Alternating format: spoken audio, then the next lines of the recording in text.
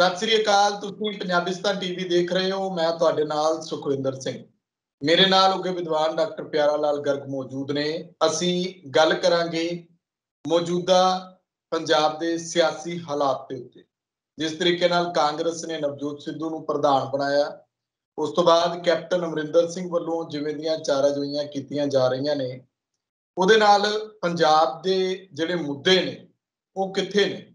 ਉਹਨਾਂ ਦਾ ਹੱਲ ਕਿੱਦਾਂ ਹੋਏਗਾ? ਕਿ ਮਾਫੀਆ ਰਾਜ ਜਿਹੜਾ ਆ, ਜਿਹੜੇ ਕੈਪਟਨ ਅਮਰਿੰਦਰ ਸਿੰਘ ਦੇ ਨਾਲ ਰਹੇ, ਜਿਨ੍ਹਾਂ ਨੇ ਮਾਫੀਆ ਚਲਾਇਆ, ਜਿਹੜੇ ਅਕਾਲੀ ਸਰਕਾਰ ਵੇਲੇ ਰਹੇ, ਜਿਨ੍ਹਾਂ ਦਾ ਮਾਫੀਆ ਦੇ ਵਿੱਚ ਨਾਮ ਆਉਂਦਾ ਰਿਹਾ, ਕਿ ਉਹਨਾਂ ਦੇ ਉੱਤੇ ਕਦੇ ਕਾਰਵਾਈ ਹੋਵੇਗੀ? ਜਾਂ ਸਿੱਧੂ ਸਾਹਿਬ ਉਸੇ ਟੀਮ ਨੂੰ ਲੈ ਕੇ ਅੱਗੇ ਚੱਲਣਗੇ, ਜਿਨ੍ਹਾਂ ਤੋਂ ਲੋਕ ਅੱਜ ਵੀ ਜਵਾਬ ਮੰਗਦੇ ਨੇ? ਸਵਾਗਤ ਹੈ ਤੁਹਾਡਾ ਡਾਕਟਰ ਸਾਹਿਬ, ਪੰਜਾਬੀ ਪੰਜਾਬਿਸਤਾਨ ਟੀਵੀ ਤੇ। ਸ਼ੁਕਰੀਆ ਜੀ ਬਹੁਤ ਬਹੁਤ ਡਾਕਟਰ ਸਾਹਿਬ, ਕਿਸ ਤਰ੍ਹਾਂ ਦੇਖਦੇ ਹੋ ਸਿੱਧੂ ਸਾਹਿਬ ਦੀ ਪ੍ਰਧਾਨਗੀ? ਲੋਕ ਤਾਂ ਕਹਿੰਦੇ ਸੀ ਕਿ ਮੁੱਦਿਆਂ ਦੀ ਗੱਲ ਕਰ ਰਹੇ ਨੇ, ਸ਼ਾਇਦ ਪ੍ਰਧਾਨਗੀ ਦੇ ਨਾਲ ਸ਼ਾਂਤ ਹੋ ਜਾਣਗੇ ਤੇ ਹੁਣ ਜਿਹੜਾ ਉਹ ਖਲਾਰਾ ਹੋਰ ਵੀ ਵੱਧਦਾ ਜਾ ਰਿਹਾ। ਦੇਖੋ, ਗੱਲ ਇਹ ਹੈ ਵੀ ਇਹ ਇੰਡੀਕੇਸ਼ਨ ਤਾਂ ਕਾਫੀ ਦੇਰ ਦੀ ਚੱਲ ਰਹੀ ਸੀ ਤੇ ਪਿੱਛੇ ਜਦ ਰਾਹੁਲ ਗਾਂਧੀ ਨੇ ਬਿਆਨ ਦਿੱਤਾ ਕਿ ਜਿਨ੍ਹਾਂ ਨੇ ਆਰਐਸਐਸ ਬੀਜੇਪੀ ਨਾਲ ਲੜਾਈ ਕਰਨੀ, ਅੱਖ ਚੱਖ ਪਾ ਕੇ ਉਹੀ ਰਹਿਣ ਪਾਰਟੀ 'ਚ, ਜਿਨ੍ਹਾਂ ਨੇ ਕੰਪਰੋਮਾਈਜ਼ ਕਰਕੇ ਚੱਲਣਾ ਜਾਂ ਡਰ ਹੈ ਕੋਈ, ਉਹ ਬੇਸ਼ੱਕ ਚਲੇ ਜਾਣ ਬਾਹਰ।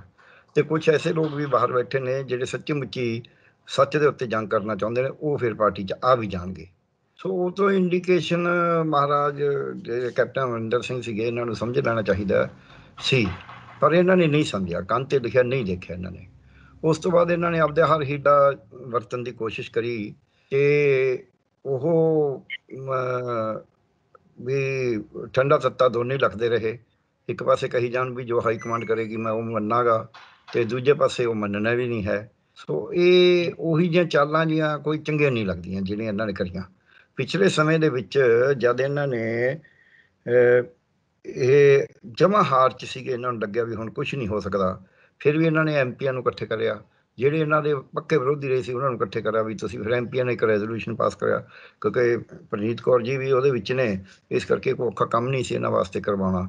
ਉਹ ਰੈਜ਼ੋਲੂਸ਼ਨ ਭੇਜਿਆ ਪਰ ਕਿ ਰੈਜ਼ੋਲੂਸ਼ਨ ਜਾਣ ਸਾਰੀ ਉਹਨਾਂ ਨੇ ਉਲਟਾ ਕਰਕੇ ਚੱਕ ਕੇ ਉਹਨਾਂ ਨੇ ਐਲਾਨ ਕਰਤਾ ਤੇ ਪਹਿਲੀ ਵਾਰੀ ਇਹ ਹੋਇਆ ਕਾਂਗਰਸ ਦੇ ਵਿੱਚ ਕਿ ਉਹਨਾਂ ਨੇ ਇੱਕ ਸੋਸ਼ਲ ਇੰਜੀਨੀਅਰਿੰਗ ਵੀ ਕਰੀ ਹੈ। ਤੇ ਉਹ ਸੋਸ਼ਲ ਇੰਜੀਨੀਅਰਿੰਗ ਦੇ ਵਿੱਚ ਮੈਨੂੰ ਲੱਗਦਾ ਵੀ ਸਾਰੀਆਂ ਪਾਰਟੀਆਂ ਨੂੰ ਚਿੱਤ ਕਰ ਗਏ ਉਹ। ਕੋਈ ਕਹਿੰਦਾ ਸੀ ਜੇ ਅਸੀਂ ਦਲਤਾਂ ਨੂੰ ਮੁੱਖ ਮੰਤਰੀ ਉਪ ਮੁੱਖ ਮੰਤਰੀ ਬਣਾਵਾਂਗੇ, ਮੁੱਖ ਮੰਤਰੀ ਬਣਾਵਾਂਗੇ, ਅਸੀਂ ਫਲਾਣੇ ਨੂੰ ਬੁਲਾਵਾਂਗੇ, ਉਹਨਾਂ ਨੇ ਬੈਕਵਰਡ ਕਲਾਸ ਦਲਤ, ਹਿੰਦੂ ਤੇ ਸਿੱਖ ਚਾਰਾਂ ਨੂੰ ਚਾਰ ਕਾਰਜਕਾਰੀ ਪ੍ਰਧਾਨ ਬਣਾਤੇ ਨਾਲ। ਸੋ ਇਹ ਇੱਕ ਕਾਫੀ ਵੱਡੀ ਗੱਲ ਹੈ। ਹਾਲਾਂਕਿ ਉਹਨਾਂ ਜੀ ਇੱਕ ਬੰਦੇ ਬੰਦਾ ਤਾਂ ਬਹੁਤਾ ਕੋਈ ਜਿਹੜਾ ਪ੍ਰਵੀਨ ਗੋਇਲ ਨੇ, ਉਹਨਾਂ ਦੁਆਰੇ ਤਾਂ ਕੋਈ ਬਹੁਤਾ ਲੋਕ ਜਾਣਦੇ ਵੀ ਨਹੀਂ ਹੈਗੇ ਇੰਨਾ, ਵੀ ਕੋਈ ਮਤਲਬ ਕਦਵਾਰ ਲੀਡਰ ਦੇ ਰੂਪ ਚ ਹੈ ਨਹੀਂ ਸੀ। ਪਰ ਜਿੱਥੇ ਦਾ ਕੈਪਟਨ ਸਾਹਿਬ ਦਾ, ਕੈਪਟਨ ਸਾਹਿਬ ਨੇ ਦੋ ਗੱਲਾਂ ਦੇ ਉੱਤੇ ਬੜੀ ਇਹਨਾਂ ਦੀ ਹੋਈ ਹੈ। ਜਦ ਇਹਨਾਂ ਨੇ ਸੌਂ ਹੀ ਚੁੱਕੀ ਸੀ, ਉਦੋਂ ਹੀ ਜੋ ਕੁਝ ਹੋਇਆ ਸੌਂ ਦੇ ਵਿੱਚ ਜਿਹੜੇ ਬੰਦਿਆਂ ਨੂੰ ਉੱਥੇ ਨਹੀਂ ਬਿਠਾਉਣਾ ਚਾਹੀਦਾ ਸੀ, ਉਹ ਪਹਿਲੀ ਕਤਾਰ 'ਚ ਬੈਠੇ। ਉਸੇ ਦੇ ਉੱਤੇ ਕੈਪਟਨ ਸਾਹਿਬ ਤੇ ਉਂਗਲਾਂ ਉੱਠਣੀਆਂ ਸ਼ੁਰੂ ਹੋ ਗਈਆਂ। ਦੇਖੋ, ਜਦ ਤੁਸੀਂ ਇੱਕ ਨਾ ਪਬਲਿਕ ਅਥਾਰਟੀ ਹੋਵੋ, ਉਦੋਂ ਤੁਹਾਨੂੰ ਇਹ ਗੱਲ ਦਾ ਧਿਆਨ ਰੱਖਣਾ ਪੈਂਦਾ ਹੈ। ਲੋਕ ਕਹਿੰਦੇ ਨੇ ਵੀ ਵੀ ਜਿਹੜਾ ਰਾਜਾ ਹੁੰਦਾ ਹੈ ਜਾਂ ਰਾਜ ਕਰਨ ਵਾਲਾ ਹੁਕਮਰਾਨ ਹੁੰਦਾ ਹੈ, ਉਹਦੀ ਹਰ ਗੱਲ ਤੇ ਲੋਕ ਨਜ਼ਰ ਰੱਖਦੇ ਨੇ ਆਲਬਾਲਾ ਵਿਰੋਧੀ ਵੀ ਤੇ ਕਾਮਨ ਮੈਨ ਵੀ, ਕੋਈ ਕਹੇ ਜਾਂ ਨਾ ਕਹੇ। ਸੋ ਇੱਕ ਤਾਂ ਇਹਨਾਂ ਨੇ ਉਦੋਂ ਨਹੀਂ ਬਾਦਰ ਕਰਿਆ, ਫਿਰ ਦੂਜੀ ਇਹਨਾਂ ਦੀ ਕਮਜ਼ੋਰੀ ਸਾਹਮਣੇ ਆ ਗਈ ਵੀ ਜਦ ਇਹਨਾਂ ਨੂੰ ਲੱਗਿਆ ਵੀ ਇਹਨਾਂ ਤੋਂ ਤਾਂ ਸਰਕਾਰ ਹੀ ਨਹੀਂ ਚੱਲਦੀ ਇੱਕ ਬਿਊਰੋਕਰੇਟ ਨੂੰ ਲਿਆ ਕੇ ਇਹਨਾਂ ਨੇ ਬਿਠਾਇਆ, ਫਿਰ ਉਹਨਾਂ ਨੂੰ ਉਹਦੇ ਪਿੱਛੇ ਲੱਗ ਕੇ ਵੀ ਨਹੀਂ ਨਹੀਂ, ਤੂੰ ਜਾ ਨਾ, ਤੂੰ ਬੈਠਾ ਰਹਿ। ਉਹ ਚਲਾ ਜਾਂਦਾ ਸੀ, ਦੋ ਤਿੰਨ ਵਾਰੀ ਗਿਆ। ਉਹਦੇ ਕਿਸਮ ਦੇ ਹਾੜੇ ਕੱਢਦੇ ਰਹੇ, ਡੇਢ ਕੜੀਆਂ ਕੱਢਣਾ ਜਿਹਨੂੰ ਅਸੀਂ ਕਹਿੰਦੇ ਆ ਉਹਦੇ 'ਚ ਵੀ ਇਹਨਾਂ ਦੀ ਤਾਕਤ ਖੁਰੀ।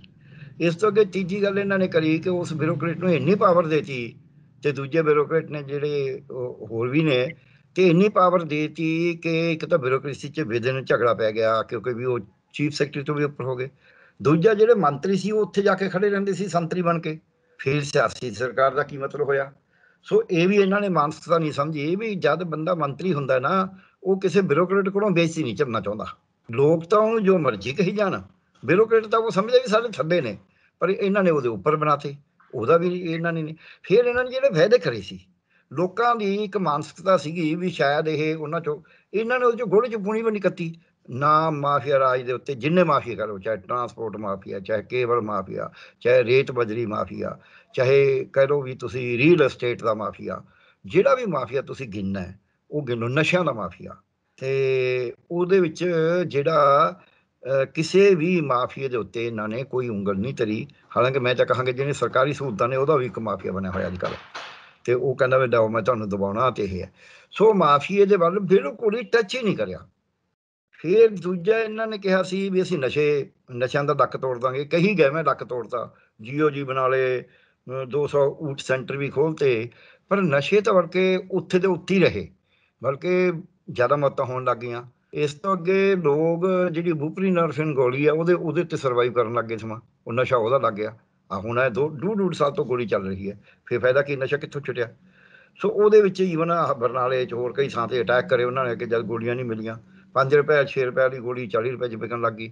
ਸੋ ਉਹਦੇ ਉੱਤੇ ਵੀ ਇਹ ਨਸ਼ਿਆਂ ਦੇ ਮਾਮਲੇ ਦੇ ਉੱਤੇ ਵੀ ਕੋਈ ਇਹ ਜਾ ਨਹੀਂ ਕਰ ਸਕੇ, ਬਲਕਿ ਜਿਹੜੇ ਉਹ ਮਿਸਟਰ ਸਿੱਧੂ ਨੂੰ ਲਾਇਆ, ਹਰਦੀਪ ਸਿੰਘ ਸਿੱਧੂ ਨੂੰ ਦੋ ਤਿੰਨ ਵਾਰੀ ਉਹਨੂੰ ਬਦਲਿਆ ਤੇ ਦੋ ਤਿੰਨ ਵਾਰੀ ਬਦਲ ਕੇ ਕਦੇ ਮੁਸਤਫਾ ਨੂੰ ਲਾਤਾ, ਤੇ ਮੁਸਤਫਾ ਨੇ ਕਿਹਾ ਨਹੀਂ ਨਹੀਂ ਮੈਂ ਨਸ਼ੇ ਖਤਮ ਕਰਦੇ, ਖਤਮ ਤਾਂ ਆਪਾਂ ਨੂੰ ਪਤਾ ਹੀ ਹੈ ਜਿਹੜੇ ਹੋਣੇ ਸੀ। ਸੋ ਉਹਦੇ ਉੱਤੇ ਨਸ਼ਿਆਂ ਦੇ ਮਾਮਲੇ ਦੇ ਉੱਤੇ ਲੋਕ ਬਹੁਤ ਦੁਖੀ ਸੀਗੇ, ਨੌਜਵਾਨ ਮਰ ਰਹੇ ਸੀਗੇ, ਤੇ ਉਹਦੇ ਉੱਤੇ ਵੀ ਇਹਨਾਂ ਨੇ ਕੋਈ ਜਿਹੜਾ ਕਰਨਾ ਚਾਹੀਦਾ ਸੀ ਸਟੈਂਡ ਲੈਣਾ ਚਾਹੀਦਾ ਸੀ, ਉਹ ਨਹੀਂ ਲਿਆ, ਬਲਕਿ ਉਹਦੇ ਉਲਟਾ ਹੋ ਗਿਆ, ਸ਼ਰਾਬ ਮਾਫੀਆ ਜਿਹਨੂੰ ਆਪਾਂ ਕਹਿੰਦੇ ਨਸ਼ਿਆਂ ਤੋਂ ਬਾਹਰ ਕੱਢ ਕੇ ਦੇਖੀਏ, ਉਹਦੇ ਨਾਲ ਜਿਹੜੀ ਇਲੀਗਲ ਸ਼ਰਾਬ ਸੀ, ਉਹਦਾ ਮੌਤਾਂ ਹੋਣੀਆਂ ਸ਼ੁਰੂ ਹੋ ਗਈਆਂ। ਉਹਦੇ 'ਚ ਕੁਝ ਨਹੀਂ ਕਰ ਸਕੇ, ਨਾ ਕਰਿਆ ਜਾਂ ਨਹੀਂ ਕਰਿਆ ਜਾਂ ਕਰ ਨਹੀਂ ਸਕੇ।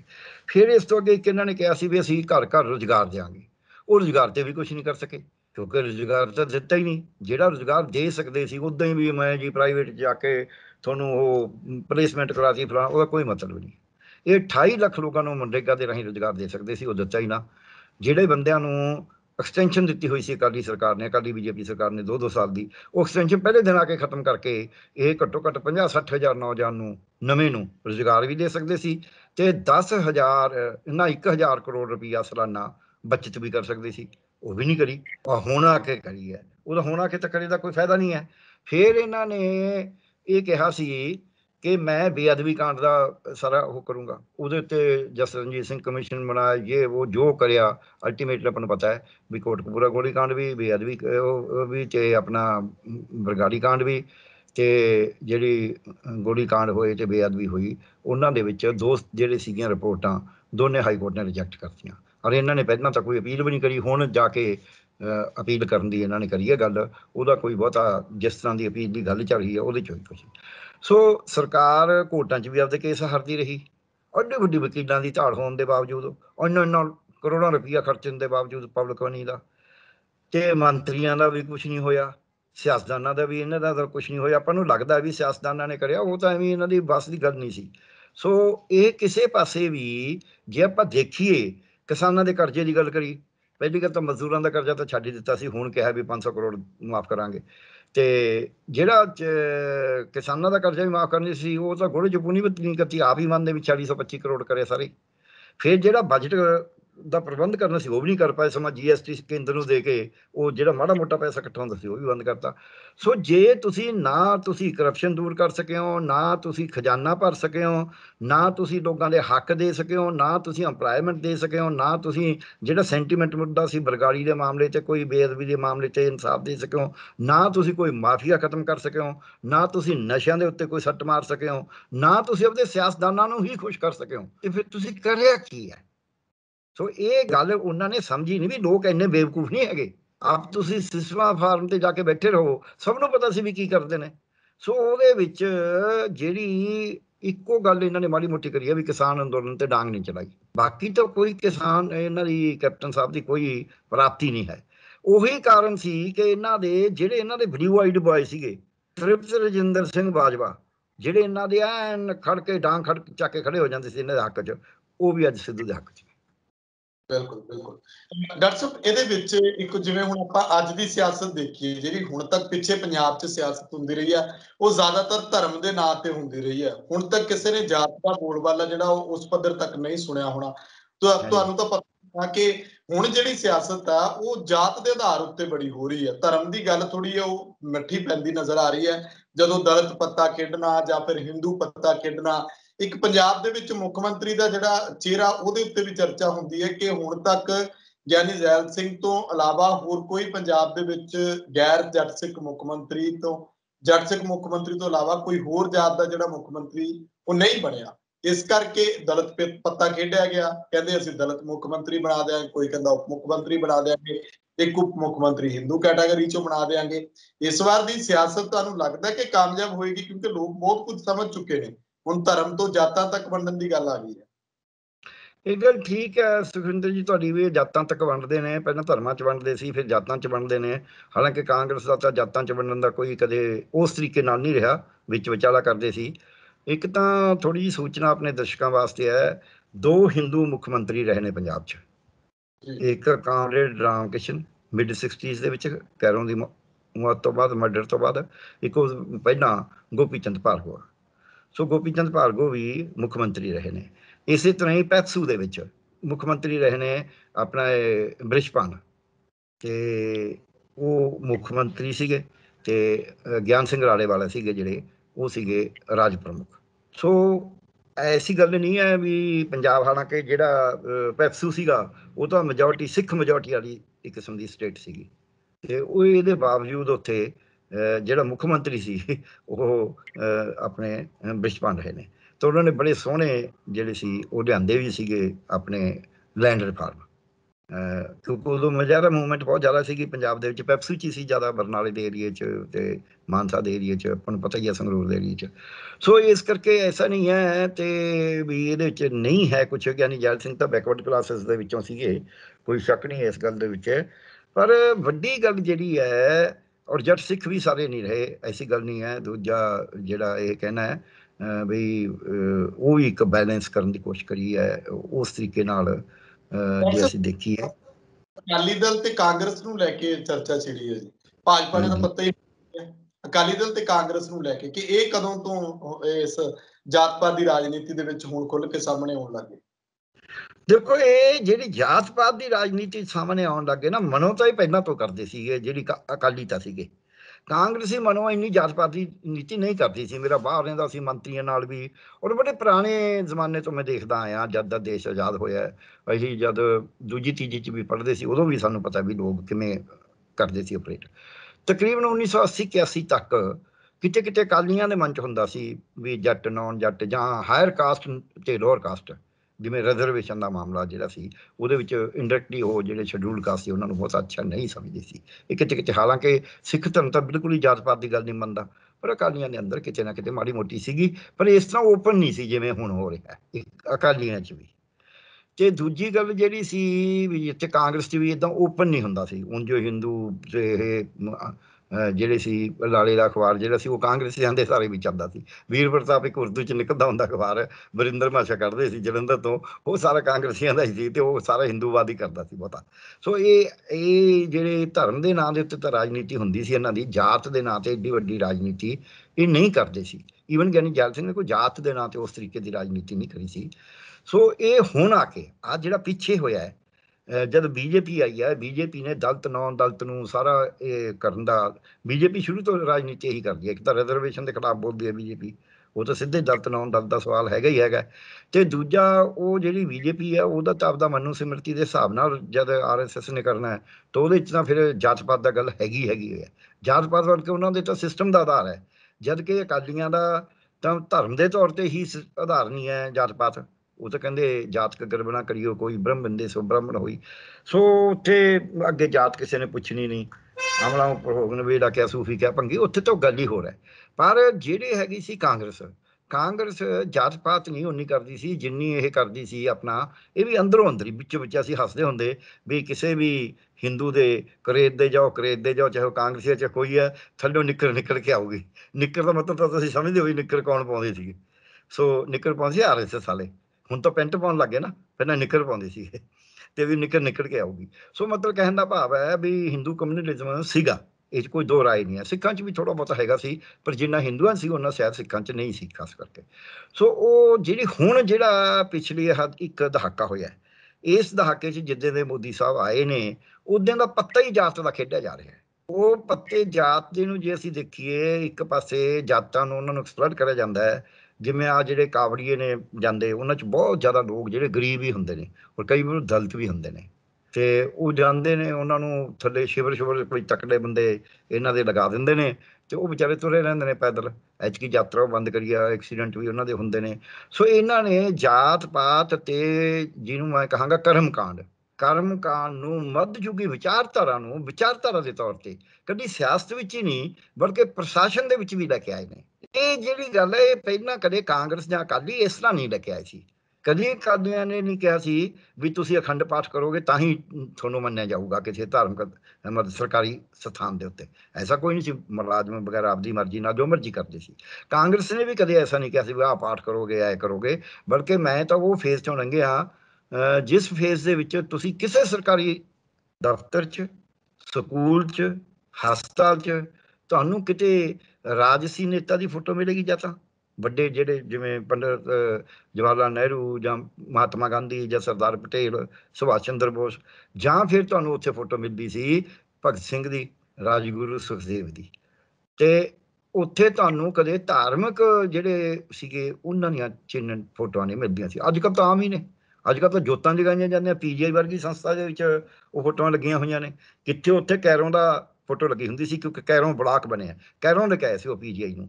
ਜਾਂ ਫਿਰ ਲਾਇਬ੍ਰੇਰੀ 'ਚ ਡਾਕਟਰ ਤੁਲਸੀਦਾਸ ਬਹੁਤ ਵੱਡੇ ਸਰਜਨ ਹੋਏ ਨੇ। ਉਹਨਾਂ ਦੀ ਅੱਖਾਂ ਦੇ ਸੀ। ਉਹਨਾਂ ਦੀ ਡਾਕਟਰ ਤੁਲਸੀਦਾਸ ਲਾਇਬ੍ਰੇਰੀ ਕਹਿੰਦੇ ਸੀ, ਕੈਰੋਂ ਨੂੰ ਕੈਰੋਂ ਬਲਾਕ। ਨਹੀਂ ਤਾਂ ਪੀਜੀਆਈ ਦੇ ਵਿੱਚ, ਹੁਣ ਤਾਂ ਪੀਜੀਆਈ 'ਚ ਜਾ ਕੇ ਦੇਖੋ ਇਹਨਾਂ ਨੇ ਆਰਐਸਐਸ ਨੇ ਜੋ ਕੁਝ ਨਵੇਂ ਹੀ ਤਜਰਬੇ ਕਰੇ ਹੋਏ ਨੇ। ਸੋ ਇਸ ਕਰਕੇ ਇਹ ਜਿਹੜੀ ਜਾਤ ਪਾਤ ਦੀ ਪੋਲਿਟਿਕਸ ਲੈ ਕੇ ਆਈ ਹੈ, ਇਹ ਬੀਜੇਪੀ ਲੈ ਕੇ ਆਈ ਹੈ। ਕਿ ਬੀਜੇਪੀ ਇਸ ਫੇਸ 'ਚ ਜ਼ਿਆਦਾ ਜ਼ੋਰ ਨਾਲ ਲੈ ਕੇ ਆਈ ਹੈ। ਪਿਛਲੇ ਫੇਜ਼ 'ਚੋਂ ਧਰਮ ਦੇ ਉੱਤੇ ਸੀ, ਐਤਕੀ ਧਰਮ ਦੇ ਨਾਲ ਨਾਲ ਜਾਤ ਪਾਤ ਲੈ ਕੇ ਆਈ ਹੈ। ਵੀ ਕਿਉਂਕਿ ਉਹਨਾਂ ਨੂੰ ਐਂ ਲੱਗਿਆ ਵੀ ਜਿਹੜੇ ਮੁਸਲਮਾਨ ਸੀ, ਉਹਨਾਂ ਨੂੰ ਤਾਂ ਅਸੀਂ ਦਬਾ ਲਿਆ ਧਰਮ ਦੇ ਨਾਂ ਤੇ। ਸਿੱਖਾਂ ਨੂੰ ਉਹ ਕਹਿੰਦੀ ਹਿੰਦੂ ਨੇ। ਇਸ ਕਰਕੇ ਉਹਨਾਂ ਨੂੰ ਦਬਾਉਣ ਦੀ ਲੋੜ ਹੀ ਨਹੀਂ, ਉਹ ਤਾਂ ਕਹਿੰਦੇ ਅੱਧੇ ਅਸੀਂ ਮੂੰਹ ਹੀ ਦਬਾਏ ਹੋਏ ਨੇ। ਉਹਨਾਂ ਤੋਂ ਅਸੀਂ ਬ੍ਰਾਹਮਣਵਾਦ 'ਚ ਪਾਇਆ ਹੋਇਆ। ਔਰ ਪਏ ਵੀ ਹੋਏ ਨੇ ਬਥੇਰੇ। ਬਥੇਰੇ ਇਹਨਾਂ ਦੇ ਨਾਲ ਵੀ ਨੇ। ਅਸਾਈਆਂ ਦੀ ਗਿਣਤੀ ਵੀ ਬਹੁਤ ਥੋੜੀ ਹੈ। ਸੋ ਇਸ ਕਰਕੇ ਹੁਣ ਉਹਨਾਂ ਨੂੰ ਜ਼ਿਆਦਾ ਵੱਡੀ ਗੱਲ ਲੱਗਦੀ ਸੀ ਕਿਉਂਕਿ ਦਲਤ ਜਿਹੜੇ ਨੇ ਉਹ ਆਬਾਦੀ ਕਾਫੀ ਜ਼ਿਆਦਾ ਹੈ। ਪੰਜਾਬ 'ਚ ਆਪਾਂ ਨੂੰ ਪਤਾ ਕਿ ਰੂਰਲ ਵਿੱਚ ਤਾਂ 37% ਆਬਾਦੀ ਹੈ। ਉਹ ਓਵਰਆਲ ਵੀ 32% ਹੈ। ਸੋ ਉਹਦੇ ਉੱਤੇ ਉਹਨਾਂ ਨੂੰ ਲੱਗਦਾ ਵੀ ਇਹ ਦਲਤ ਪੱਤਾ ਇੱਕ ਪਾਸੇ ਦਲਤ ਪੱਤਾ ਖੇਡਣਾ ਬਹੁਤ ਜ਼ਰੂਰੀ ਹੈ। ਅਹ ਤੇ ਉਹ ਇੱਕ ਪਾਸੇ ਦਲਤਾਂ ਨੂੰ ਦਬਾਉਂਦੇ ਨੇ ਦੂਜੇ ਪਾਸੇ ਦਲਤ ਪੱਤਾ ਖੇਡ ਕੇ ਇੱਕ ਜਿਵੇਂ ਮੁਸਲਮਾਨਾਂ ਦਾ ਇੱਕ ਅੱਧਾ ਉਹ ਨਕਵੀ ਸਾਹਿਬ ਨੂੰ ਇਹਨਾਂ ਨੇ ਬਣਾ ਰੱਖਦੇ ਨੇ ਮੁਖਤਾਰ ਅਵਾਸ ਅਹ, ਨਕਵੀ ਨੂੰ। ਉਸੇ ਤਰ੍ਹਾਂ ਹੀ ਇਹ ਦਲਤਾਂ ਨੂੰ ਇੱਕ ਦੋ ਨੂੰ ਇਦਾਂ ਬਣਾ ਰੱਖਦੇ ਨੇ। ਸੋਮ ਪ੍ਰਕਾਸ਼ ਨੂੰ ਜਿਵੇਂ ਬਣਾਇਆ। ਸੋ ਇਸ ਕਰਕੇ ਇਹ ਪੱਤਾ ਜਿਹੜਾ ਜਾਤ-ਪਾਤ ਦਾ ਜਿਹੜਾ ਤੁਹਾਡਾ ਸਵਾਲ ਹੈ ਇਹ ਵੱਡਾ ਪੱਤਾ ਬੀਜੇਪੀ ਨੇ ਖੇਡਿਆ। ਇੱਥੇ ਵੀ ਪਹਿਲਾਂ ਪੰਜਾਬ 'ਚ ਬੀਜੇਪੀ ਨੇ ਕਿਹਾ ਵੀ ਅਸੀਂ ਦਲਿਤਾਂ ਦਾ ਮੁੱਖ ਮੰਤਰੀ ਬਣਾਵਾਂਗੇ। ਉਪ ਮੁੱਖ ਮੰਤਰੀ ਨਹੀਂ ਮੁੱਖ ਮੰਤਰੀ ਬਣਾਵਾਂਗੇ ਕਹਿੰਦਾ ਸੀ। ਫਿਰ ਇਹਨਾਂ ਤੇ ਸਵਾਲ ਹੋਣ ਲੱਗੇ ਵੀ ਯੂਪੀ 'ਚ ਬਣਾ ਦਿਓ ਤੁਹਾਡੀਆਂ ਇੰਨੀਆਂ ਸਟੇਟਾਂ 'ਚ ਉੱਥੇ ਬਣਾ ਦਿਓ ਫਿਰ ਉਹਦੇ ਨਾਲ ਅਕਾਲੀਆਂ ਨੇ ਕਿਹਾ ਸੀ ਉਪ ਮੁੱਖ ਮੰਤਰੀ ਬਣਾਵਾਂਗੇ ਆਪ ਵਾਲਿਆਂ ਨੇ ਵੀ ਕਹਿਤਾ ਸੀ ਉਪ ਮੁੱਖ ਮੰਤਰੀ ਬਣਾਵਾਂਗੇ। ਫਿਰ ਦਲਿਤਾਂ ਨਾਲ ਕਹਿਣ ਲੱਗੇ ਕਿ ਹਿੰਦੂ ਨੂੰ ਵੀ ਬਣਾਵਾਂਗੇ। ਆ ਹੁਣ ਕਾਂਗਰਸ ਨੇ ਜਿਹੜੇ ਚਾਰ ਕਾਰਜਕਾਰੀ ਪ੍ਰਧਾਨ ਲੈਣੇ ਉਹ ਚਾਰੇ ਜਾਤਾਂ ਚੋਂ ਲੈ ਲਏ ਸੋ ਉਸ ਪਾਸੇ ਵੱਲ ਨੂੰ ਇਹ ਪੋਲਿਟਿਕਸ ਜਾ ਰਹੀ ਹੈ। ਤੁਹਾਡਾ ਸਵਾਲ ਜਾਇਜ਼ ਹੈ, ਇਹ ਮਾੜੀ ਪੋਲਿਟਿਕਸ ਹੈ। ਇਹ ਚੰਗੀ ਨਹੀਂ ਹੈ।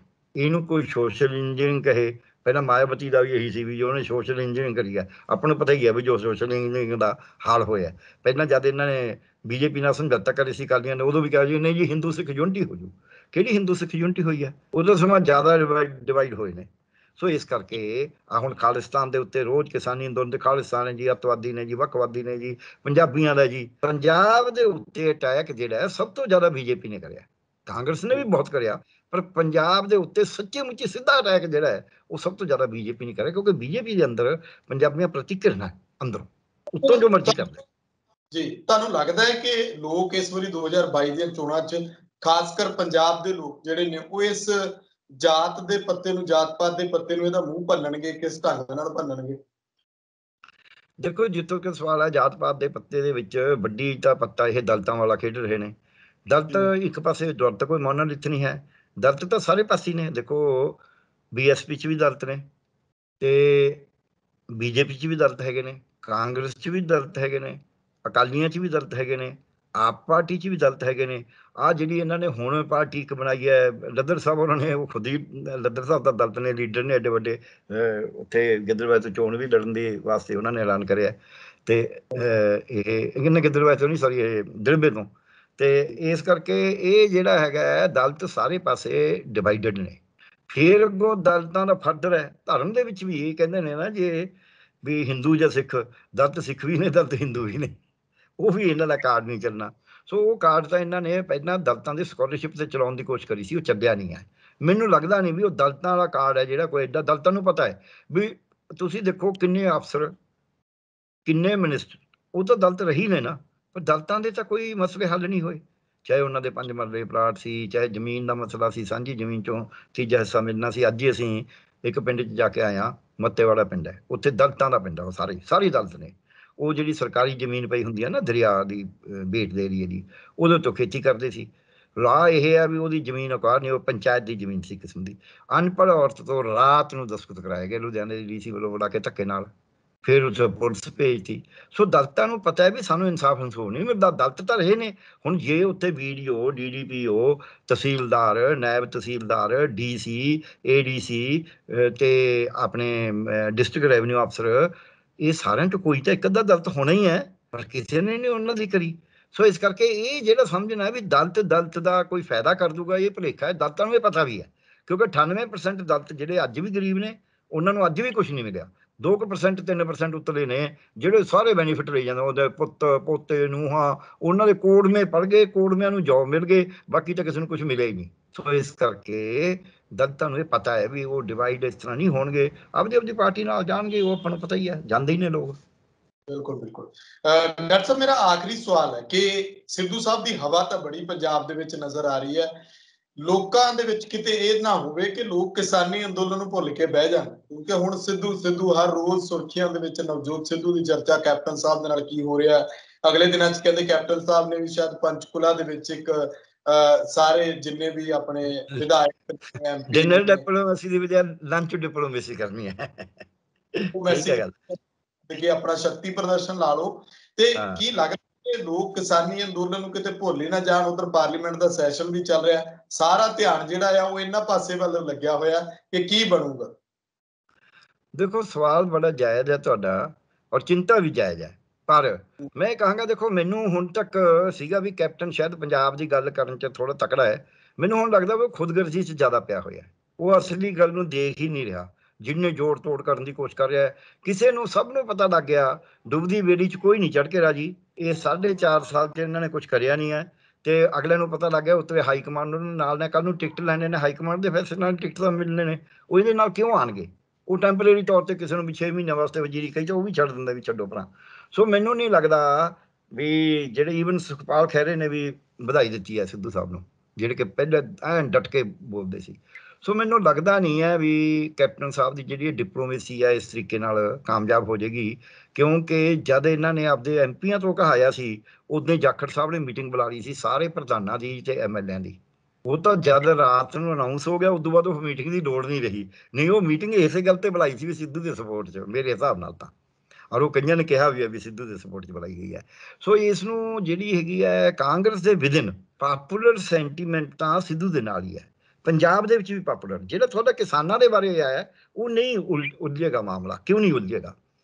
ਅੱਜ ਇੱਕ ਤਾਂ ਕਿਸਾਨ ਦਾ ਆਪਦਾ ਤਕੜਾ ਕਿੱਲਾ, ਜਿਹੜਾ ਉਹ ਜਾ ਰਹੇ ਨੇ, ਪਾਰਲੀਮੈਂਟ 2-200 ਬੰਦਾ ਜਾਏਗਾ। ਅੱਜ ਸਾਰੀਆਂ ਪਾਰਟੀਆਂ ਨੇ ਕੀ ਕਰਿਆ? ਪੰਜਾਬ ਦੀਆਂ ਨੇ। ਬਾਹਰਲਾ ਕੋਈ ਕਰੇ ਨਾ ਕਰੇ। ਆਪ ਵਾਲਿਆਂ ਨੇ ਕਿਹਾ ਕਿ ਭਗਵੰਤ ਮਾਨ ਨੇ ਕਿ ਮੈਂ ਉੱਥੇ ਅਰਜਨਮੈਂਟ ਮੋਸ਼ਨ ਲੈ ਕੇ ਜਾਊਂ ਕਿਸਾਨਾਂ ਦੇ ਇਸ਼ੂ ਤੇ। ਬਹੁਤ ਵੱਡੀ ਗੱਲ ਹੁੰਦੀ ਹੈ ਅਰਜਨਮੈਂਟ ਮੋਸ਼ਨ ਅਰਜਨਮੈਂਟ ਮੋਸ਼ਨ ਦਾ ਮਤਲਬ ਇਹ ਹੁੰਦਾ ਹੈ ਇੱਕ ਕਿਸਮ ਦਾ ਕੰਮ ਰੋਕ ਮਤਾ ਹੁੰਦਾ ਉਹ, ਵੀ ਤੁਸੀਂ ਬਾਕੀ ਸਾਰੇ ਕੰਮ ਛੱਡੋ, ਆਪ ਪਹਿਲਾਂ ਹੀ ਤੇ ਚਰਚਾ ਕਰਕੇ ਇਹਦਾ ਫੈਸਲਾ ਕਰੋ। ਇਹ ਵੱਡੀ ਗੱਲ ਹੁੰਦੀ ਹੈ। ਔਰ ਲੋਕ ਸਭਾ 'ਚ ਲੈ ਕੇ ਜਾਣਾ। ਇਦਾਂ ਹੀ ਅਕਾਲੀ ਦਲ ਨੇ ਕਹਿਤਾ, ਸੁਖਵੀਰ ਬਾਦਲ ਜੀ ਨੇ ਕਿ ਮੈਂ ਜੀ ਹਰਸਿਮਰਤ ਬਾਦਲ, ਕਿਉਂਕਿ ਉਹਨਾਂ ਦੇ ਲੀਡਰ ਨੇ ਉੱਥੇ ਆਪ, ਉਹਦੇ ਚ ਅਕਾਲੀ ਦਲ ਦੇ, ਵੀ ਉਹ ਉੱਥੇ ਰੈਜ਼ੋਲੂਸ਼ਨ ਲੈ ਕੇ ਜਾਣਗੇ ਕਿਸਾਨਾਂ ਦੇ ਹੱਕ 'ਚ। ਇਸੇ ਤਰ੍ਹਾਂ ਹੀ ਕਾਂਗਰਸ ਦੇ ਉਸ, ਉਹ ਮੁਹੰਮਦ ਸਦੀਕ ਨੂੰ ਇਹਨਾਂ ਨੇ ਦਿੱਤਾ ਕਿਸਾਨਾਂ ਨੇ ਜਿਹੜਾ ਵਿਪ ਜਾਰੀ ਕਰੀ ਹੈ ਜਿਹੜੀ ਸਾਰੀ ਕਾਂਗਰਸ ਨੂੰ। ਕਾਂਗਰਸ ਨੇ ਕਿਹਾ ਵੀ ਅਸੀਂ ਵੀ ਇਦਾਂ ਉੱਥੇ ਗੱਲ ਕਰਾਂਗੇ। ਸੋ ਪੰਜਾਬ ਦੇ ਜਿਹੜੇ ਐਮਪੀ ਨੇ, ਉਹ ਤਾਂ ਪੱਕਾ ਹੀ ਹੈ ਵੀ ਪੰਜਾਬ ਦੇ ਐਮਪੀ ਆਪਸ ਵਿੱਚ ਜੋ ਮਰਜ਼ੀ ਲੜੀ ਜਾਵੇ, ਕਾਂਗਰਸ ਲੜੀ ਜਾਵੇ, ਅਕਾਲੀ ਲੜੀ ਜਾਣ, ਕਿਸਾਨੀ ਅੰਦੋਲਨ ਦੇ ਉੱਤੇ ਕੋਈ ਅਫੋਰਡ ਨਹੀਂ ਕਰ ਸਕਦਾ ਵੀ ਅੱਜ ਕਿਸਾਨੀ ਅੰਦੋਲਨ ਨੂੰ ਰੋੜਨ ਦੀ ਗੱਲ ਹੋ ਜੇ। ਸਵਾਲ ਇਹ ਹੈ, ਇਹਦੇ ਵਿੱਚ ਇਹਨਾਂ ਦੀ ਕਾਟੋਕੁਲੇ ਚ ਪੰਜਾਬ ਦਾ ਕੀ ਬਣੂਗਾ?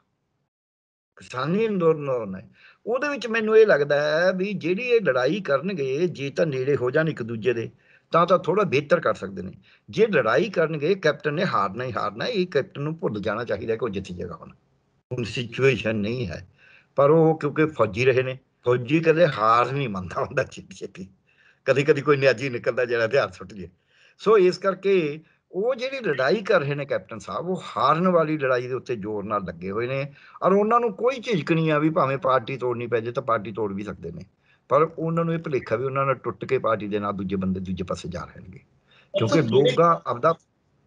ਜਿਹੜੇ ਕਹਿੰਦੇ ਪੰਜਾਬ ਪ੍ਰਤੀ ਪੰਜਾਬ ਨੂੰ ਲੈ ਕੇ ਪੰਜਾਬ ਦੇ ਮੁੱਦਿਆਂ ਨੂੰ ਲੈ ਕੇ ਕਿਸਾਨੀ ਨੂੰ ਲੈ ਕੇ ਆਬੋ ਹਵਾ ਨੂੰ ਲੈ ਕੇ ਅਸੀਂ ਆਪਣੀ ਲੀਡਰੀ ਚਮਕਾਉਣ ਵਿੱਚ ਲੱਗੇ ਨੇ ਭਾਵੇਂ ਕੋਈ ਵੀ ਹੋਵੇ ਭਾਵੇਂ ਸਿੱਧੂ ਸਾਹਿਬ ਹੋਣ ਭਾਵੇਂ ਕੋਈ ਵੀ ਹੋਵੇ। ਮੈਂ ਮੈਂ ਜਾਂਦੇ ਜਾਂਦੇ ਇਹ ਪੁੱਛ ਰਿਹਾ ਤੁਹਾਨੂੰ ਮੈਂ ਸਵਾਲ ਕਰਨਾ ਨਹੀਂ ਸੀ ਪਰ ਮੇਰੇ ਧਿਆਨ ਵਿੱਚ ਆਇਆ ਕਿ ਮੱਤੇਵਾੜਾ ਜੰਗਲ ਨੂੰ ਲੈ ਕੇ ਕੀ ਸਿੱਧੂ ਸਾਹਿਬ ਕੋਈ ਇਹੋ ਜਿਹਾ ਸਟੈਂਡ ਸਪਸ਼ਟ ਕਰਨਾ ਚਾਹਣਗੇ? ਤੁਹਾਨੂੰ ਲੱਗਦਾ ਕਿ ਮੱਤੇਵਾੜਾ ਜੰਗਲ ਦੇ ਉੱਤੇ ਜਿਹੋ ਜਿਹਾ ਨਾਮ ਸਿੱਧੂ ਸਾਹਿਬ ਦਾ ਆ ਕਲੀਅਰ ਕਰਨਾ ਚਾਹੀਦਾ ਕਿ ਉਹ ਕੀ ਚਾਹੁੰਦੇ ਨੇ? ਪੰਜਾਬ ਦੇ ਵਾਤਾਵਰਣ ਨੂੰ ਲੈ ਕੇ ਉਹਨਾਂ ਦਾ ਕੀ ਰੋਡ ਮੈਪ ਹੈ? ਮੱਤੇਵਾੜਾ ਜੰਗਲ ਦੇ ਬਚਾਅ ਦੇ ਲਈ ਹੁਣ ਸਿੱਧੂ ਸਾਹਿਬ ਕੀ ਕਰਨਗੇ? ਹੁਣ ਤਾਂ ਪ੍ਰਧਾਨਗੀ ਹੱਥ ਆ ਗਈ? ਦੇਖੋ, ਜਿੱਥੋਂ ਤੱਕ ਮੈਨੂੰ ਨਹੀਂ ਪਤਾ ਉਹਨਾਂ ਦੇ ਧਿਆਨ ਚ ਕਿੰਨਾ ਕਹੇ ਇਹ ਧਿਆਨ ਚ ਆਉਣ ਤੋਂ ਬਾਅਦ ਜਿਹੜਾ ਕਰਨਾ ਤਾਂ ਸਰਕਾਰ ਨੇ, ਉਹ ਤਾਂ ਸਟੈਂਡ ਹੀ ਲੈ ਸਕਦੇ ਨੇ। ਅਜੇ ਤੱਕ ਪ੍ਰਧਾਨਗੀ ਹੋਣ ਦੇ ਬਾਵਜੂਦ ਵੀ ਉਹ ਤਾਂ ਕਾਂਗਰਸ ਵਰਕਰਾਂ ਨੂੰ ਉੱਥੇ ਭੇਜ ਸਕਦੇ ਨੇ ਵੀ ਭਾਈ ਦੇਖੋ ਕੀ ਹੈ। ਉਹਨਾਂ ਨੂੰ ਇਹ ਕਹਿ ਸਕਦੇ ਨੇ ਵੀ ਤੁਹਾਡੀ ਸਰਕਾਰ ਬੌਣ ਵੀ ਆਵੇ ਜ਼ਮੀਨ ਡਟ ਕੇ ਖੜੇ ਹੋ ਜਾਓ ਪਰਵਾਹ ਨਾ ਕਰੋ। ਆ ਪਿੱਛੇ ਆਏ ਸੀਗੇ ਉਹਨਾਂ ਨੇ ਭਜਾਏ ਕੁਝ ਬਾਹ ਹੋ ਗਏ ਕੁਝ ਭੱਜ ਗਏ ਉਹਨਾਂ ਨੇ ਦੁਬਾਰਾ ਬੀਜ ਲਈ। ਸੋ ਹੁਣ ਹੁਣ ਉਹਨਾਂ ਨੇ ਮੁਕੱਦਮਾ ਹੀ ਪਾਇਆ ਹੋਇਆ ਵੀ ਜਿਹੜੀ ਸਾਡੀ ਜ਼ਮੀਨ ਹੈ ਪੱਟ ਬੀਜੀ ਹੋਈ ਫਸਲ ਪੱਟ ਕੇ ਉਹਦੇ ਸਾਨੂੰ ਪੈਸੇ ਮਿਲਣ ਮੁਆਵਜ਼ਾ ਮਿਲੇ। ਕਿਉਂਕਿ ਉੱਥੇ ਜਿਹੜਾ ਮੱਤੇ ਵਾਲਾ ਚ ਹੋਇਆ ਨਾ ਉਹ ਬੜਾ ਆਲੋਕਾਰ ਕੰਮ ਹੋਇਆ। ਬਾਕੀ ਜਗ੍ਹਾ ਤੇ ਪਟਿਆਲੇ ਜ਼ਿਲ੍ਹੇ ਦੇ ਵਿੱਚ ਜਿਹੜੀ ਜ਼ਮੀਨ ਇਦਾਂ ਦੀ ਜਿਹੜੀ ਸ਼ਾਮਲਾਟ ਜ਼ਮੀਨ ਦੇ ਉੱਤੇ ਕੋਈ ਕਾਬਜ ਸੀਗੇ ਚਾਹੇ ਉਹ ਠੇਕੇ ਚਲੇ ਕੇ ਕਰਦੇ ਸੀ, ਚਾਹੇ ਉਦਾਂ ਹੀ ਕਾਬਜ ਸੀਗੇ, ਉਹ ਜਦ ਅਕਵਾਇਰ ਕਰੀ ਸਰਕਾਰ ਨੇ ਮਤਲਬ ਦੇ ਕਬਜ਼ੇ ਚ ਲਈ, ਉਦੋਂ ਜਿਹੜਾ ਤਾਂ ਪੰਚਾਇਤ ਨੂੰ ਪੈਸਾ ਦਿੱਤਾ ਦਿੱਤਾ, ਉੱਥੇ ਜਿਹੜੇ ਪਰਿਵਾਰ ਉਹ ਤੇ ਨਿਰਭਰ ਸੀ, ਚਾਹੇ ਉਹਦੇ ਤੇ ਖੇਤੀ ਕਰ, ਉਹਨਾਂ ਨੂੰ ਜਿਨ੍ਹਾਂ ਕੋਲ ਤਾਂ ਜ਼ਮੀਨ ਦੀ ਮਾਲਕੀ ਮਤਲਬ ਕਿਸਮ ਦੀ ਠੇਕੇਦਾਰੀ ਸੀ, ਉਹਨਾਂ ਨੂੰ ਪ੍ਰਤੀ ਏਕੜ 9.5 ਲੱਖ ਰੁਪਇਆ ਦਿੱਤਾ ਉਹ ਰੀਹੈਬਿਲਿਟੇਸ਼ਨ ਹੈ। ਦੂਜਾ ਇੱਕ ਐਕਟ ਹੈ 2013 ਦਾ ਵੀ ਜ਼ਮੀਨ ਜਦ ਕਿਸੇ ਪਿੰਡ ਦੀ ਲਈ ਜਾਂਦੀ ਹੈ ਉਦੋਂ ਤੁਸੀਂ ਉੱਥੇ ਇੱਕ ਧਨਵਾਰਮੈਂਟ ਦਾ ਕੰਮ ਜਿਹੜਾ ਤੁਸੀਂ ਕਿਹਾ ਪਰਿਆਵਰਨ ਦਾ ਉਹਦੇ ਨਾਲ ਉੱਥੇ ਪਰਿਆਵਰਨ ਦਾ ਬਹੁਤ ਨੁਕਸਾਨ ਹੋ ਸੀ ਦੇਖਿਆ ਐਂ ਦਰਿਆ ਦੇ ਕੰਢੇ 'ਚ ਹੈ। ਦਰਿਆ ਉਹ ਬਿਲਕੁਲ ਤੁਸੀਂ ਨਾਲ ਹੈ ਉੱਥੇ ਪਿੰਡ ਦੇ ਤੇ ਜੇ ਤੁਸੀਂ ਨਾ ਹੋਵੇ ਤਾਂ ਪਿੰਡ ਰੁੜ ਜਾ ਕਰੇ ਦਰਿਆ 'ਚ ਦਰਿਆ ਦੇ ਨਾਲ ਉਹ ਜ਼ਮੀਨ। ਦੂਜੀ ਗੱਲ ਇਹ ਹੈ ਵੀ ਉੱਥੇ ਆਲੇ ਦਾਲੇ ਸਾਰਾ ਪਰਿਆਵਰਨ ਦਾ ਨਾਸ ਹੋ ਜਾਊਗਾ ਤਾਂ। ਉਹ ਪਰਿਆਵਰਨੀ ਅਸੀਂ ਇਹ ਕਹਿੰਦੇ ਆ ਵੀ ਇਕੋਸਿਸਟਮ ਹੈ ਉਹ। ਪਰਿਆਵਰਣੀ ਪ੍ਰਣਾਲੀ ਆਪਣੇ ਆਪ ਚ ਉਹ ਇੱਕ ਇੰਡੀਪੈਂਡੈਂਟ ਪ੍ਰਣਾਲੀ ਹੈ। ਉੱਥੇ ਜੋ ਜਾਨਵਰ ਨੇ, ਹੋਰ ਨੇ, ਉਹ ਸਾਰੀ ਪਰਿਆਵਰਨ ਪ੍ਰਣਾਲੀ ਨਸ਼ਟ ਹੋ ਜੂਗੀ। ਤੇ ਸਿੱਧੂ ਸਾਹਿਬ ਨੇ ਤੇ ਸਟੈਂਡ ਤਾਂ ਲੈਣੇ ਚਾਹੀਦਾ ਹੈ ਦੇ ਕਾਂਗਰਸ ਪ੍ਰਧਾਨ। ਤੇ ਬਾਕੀ ਜਿੱਥੋਂ ਤੱਕ ਸਵਾਲ ਹੈ ਵੀ ਉਂਝ ਜਿਹੜਾ ਤੁਸੀਂ ਕਿਹਾ, ਇੱਕ ਲਾਸਟ ਮੈਂ ਲਾਈਨ ਕਹਾਂਗਾ। ਸ਼ਾਇਦ ਮੈਂ ਪਹਿਲਾਂ ਨਾ ਕਹਿੰਦਾ ਪਰ ਹੁਣ ਤੁਸੀਂ ਇਹ ਗੱਲ ਕਰੀ ਹੈ। ਸਿੱਧੂ ਸਾਹਿਬ ਨੇ ਹੁਣ ਵੀ ਇਹੀ ਕਿਹਾ ਵੀ ਮੈਂ ਪੰਜਾਬ ਦਾ ਏਜੰਡਾ ਲੈ ਕੇ ਚੱਲੂੰਗਾ ਆ ਗੱਲਾਂ ਤਾਂ ਬਾਕੀ ਦਊਂਗਾ ਹੀ ਦਊਂਗਾ। ਮੈਂ ਏਜੰਡਾ ਲਵਾਂਗਾ ਪੰਜਾਬ ਦਾ। ਉਹਨਾਂ ਨੇ ਬਣਨ ਤੋਂ ਬਾਅਦ ਵੀ ਇਹ ਨਹੀਂ ਕਿਹਾ ਕਿ ਮੈਂ ਏਜੰਡਾ ਨਹੀਂ ਲਵਾਂਗਾ ਮਤਲਬ ਭੁੱਲੇ ਨਹੀਂ ਉਹ। ਅਜੀ ਬਾਕੀ ਤਾਂ ਕੱਲ ਨੂੰ ਪਤਾ ਲੱਗੂਗਾ ਸਮਝ ਹੀ ਦੱਸਦਾ ਨਾ ਅੱਗੇ ਤਾਂ। ਸੋ ਅੱਜ ਤੱਕ ਬਾਕੀ ਕੋਈ ਪੰਜਾਬ ਦੇ ਏਜੰਡੇ ਦੀ ਗੱਲ ਨਹੀਂ ਕਰਦਾ। ਕੋਈ ਕਹਿੰਦਾ ਤੁਹਾਨੂੰ ਅਸੀਂ ਬਿਜਲੀ ਮੁਫਤ ਦੇ ਦਾਂਗੇ ਪਾਣੀ ਮੁਫਤ ਦੇ ਦਾਂਗੇ ਤੁਹਾਨੂੰ ਆਟਾ ਦਾਲ ਦੇ ਦਾਂਗੇ ਤੁਹਾਨੂੰ ਫਲਾਣਾ ਕਰ ਦਾਂਗੇ ਤੁਹਾਡਾ ਕਰਜ਼ਾ ਮਾਫ ਕਰ ਦਾਂਗੇ। ਕਿਸੇ ਨੇ ਨਹੀਂ ਕਿਹਾ ਵੀ ਪੰਜਾਬ ਦਾ ਇੱਕ ਏਜੰਡੇ ਦੀ ਲੋੜ ਹੈ ਪੰਜਾਬ ਨੂੰ ਤੇ ਮੈਂ ਉਹ ਏਜੰਡਾ ਚਲਾਉਂਗਾ ਅੱਗੇ। ਇਹ ਬਹੁਤ ਵੱਡਾ ਆਪਣੇ ਆਪ ਸਟੇਟਮੈਂਟ ਹੈ। ਬਿਲਕੁਲ। ਸ਼ੁਕਰੀਆ ਡਾਕਟਰ ਸਾਹਿਬ ਬਹੁਤ ਬਹੁਤ ਧੰਨਵਾਦ। ਸ਼ੁਕਰੀਆ ਜੀ ਬਹੁਤ ਬਹੁਤ ਸੋ ਮੇਰੇ ਨਾਲ ਮੌਜੂਦ ਸਨ ਉਗੇ ਵਿਦਵਾਨ ਡਾਕਟਰ ਪਿਆਰਾ ਲਾਲ ਗਰਗ। ਨਵਜੋਤ ਸਿੱਧੂ ਤੋਂ ਉਮੀਦਾਂ ਤਾਂ ਸਾਰੇ ਪੰਜਾਬ ਪੰਜਾਬੀਆਂ ਨੂੰ, ਬਾਹਰਲੇ ਮੁਲਕਾਂ 'ਚ ਵਸਦੇ ਪੰਜਾਬੀ ਬਹੁਤ ਉਮੀਦਾਂ ਲਾਈ ਬੈਠੇ। ਪਰ ਸਮਾਂ ਦੱਸੇਗਾ ਕਿ ਸਿੱਧੂ ਸਾਹਿਬ ਦੀ ਜਿਹੜੀ ਸ਼ੈਲੀ ਜਾਂ ਸਿੱਧੂ ਸਾਹਿਬ ਦਾ ਕਾਰਜਕਾਲ ਜੇ ਉਹ ਮੁੱਖ ਮੰਤਰੀ ਬਣਦੇ ਨੇ ਜਾਂ ਪ੍ਰਧਾਨ ਬਣੇ ਨੇ, ਤਾਂ ਸਿੱਧੂ ਸਾਹਿਬ ਕਿਸ ਤਰ੍ਹਾਂ ਪੰਜਾਬ ਦੀ ਅਗਵਾਈ ਪੰਜਾਬ ਦੇ ਮੁੱਦਿਆਂ ਨੂੰ ਚੁੱਕਣਗੇ? ਤੁਸੀਂ ਆਪਣੇ ਵਿਚਾਰ ਕਮੈਂਟ ਜ਼ਰੂਰ ਕਰਿਓ। ਪੰਜਾਬਿਸਤਾਨ ਟੀਵੀ ਨੂੰ ਸਬਸਕ੍ਰਾਈਬ ਕਰੋ, ਮੈਨੂੰ ਇਜਾਜ਼ਤ ਦਿਓ। ਧੰਨਵਾਦ।